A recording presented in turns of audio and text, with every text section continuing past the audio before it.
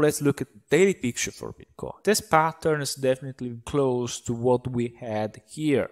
So the first part of the consolidation, a flat reaction without any sign of selling. Then a high high followed by a quick reversal on a high volume, and then an attempt to retest this level.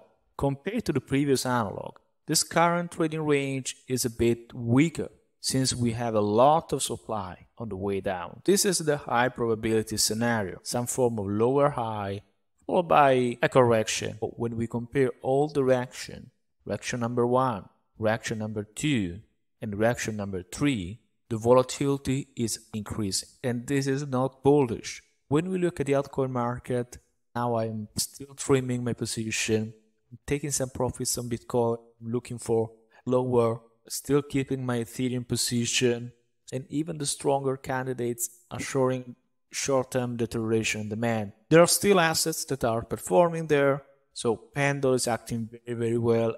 I do not see any signs of deterioration for this coin the best entry point was just around the 9 day moving average. I see that many assets that are showing some strength are very young assets. And what we can deduct from this, guys, our Wyckoff scanner is telling us that a lot of coins that are very young and are still creating a causality are not suffering a lot the over pressure of the market.